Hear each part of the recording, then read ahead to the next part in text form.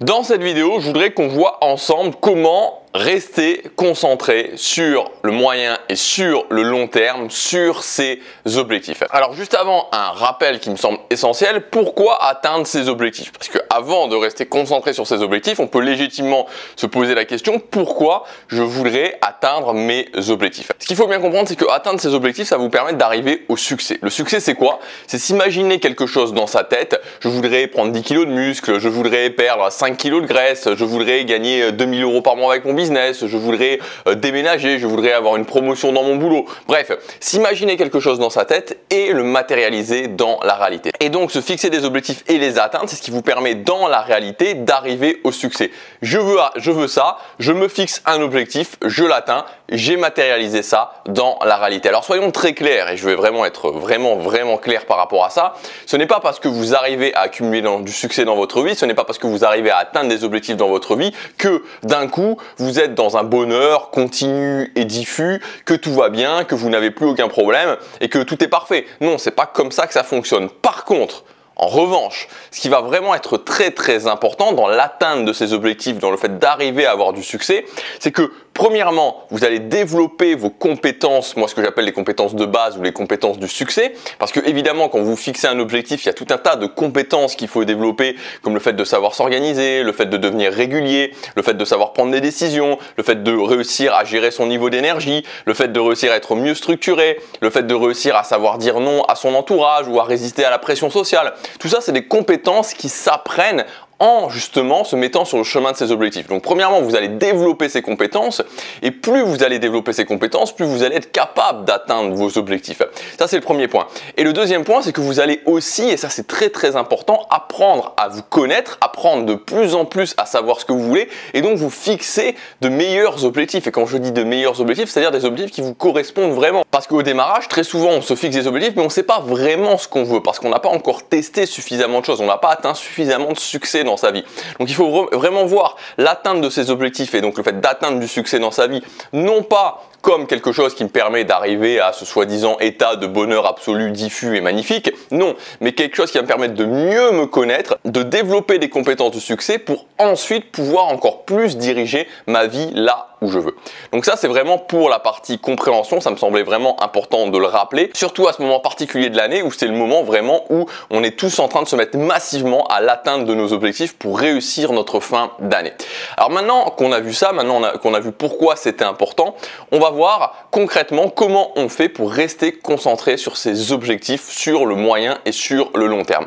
Juste avant, je vous rappelle que j'ai mis en ligne cette semaine un pack, ça s'appelle le grand pack de la rentrée. Donc c'est une offre vraiment, c'est vraiment une offre atomique, c'est-à-dire que c'est une offre où prix catalogue, ça coûte 2000 euros. Là, vous pouvez y accéder pour un prix qui est vraiment, enfin, qui une réduction qui est énorme. Il y a notamment ma grande formation, la révolution. Il y a aussi d'autres formations qui vont vous permettre de développer les compétences de succès.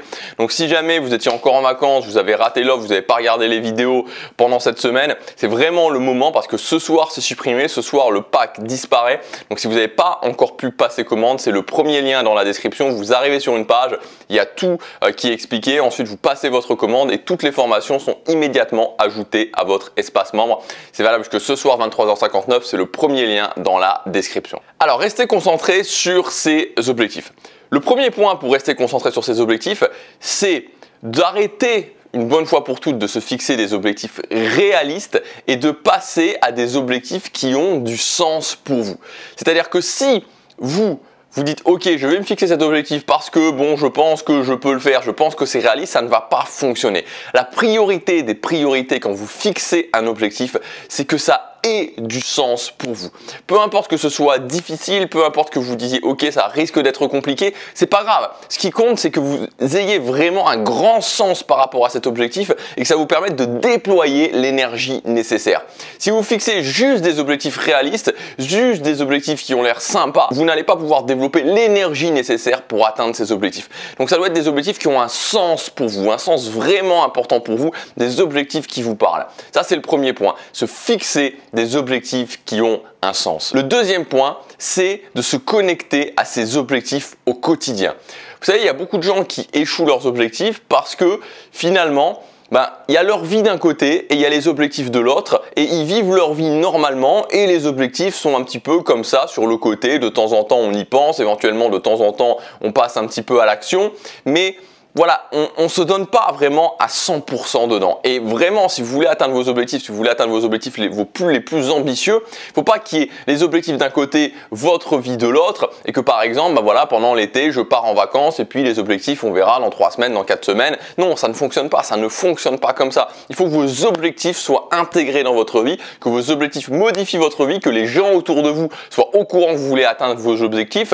Et vraiment, c'est très important. Et donc, ce principe de connexion aux objectifs, ça veut dire que tous les jours, vous devez vous rappeler c'est quoi vos objectifs et pourquoi ces objectifs sont importants pour vous. Il n'y a pas un jour qui doit passer sans que vous rappeliez pourquoi c'est important pour vous, pourquoi vous voulez le faire et que vous sentiez cette énergie, cette flamme qui brûle en vous sur l'atteinte de ces objectifs. Et aussi quelque chose qui va avec justement ce principe de connexion, c'est le fait de s'exposer à ces objectifs.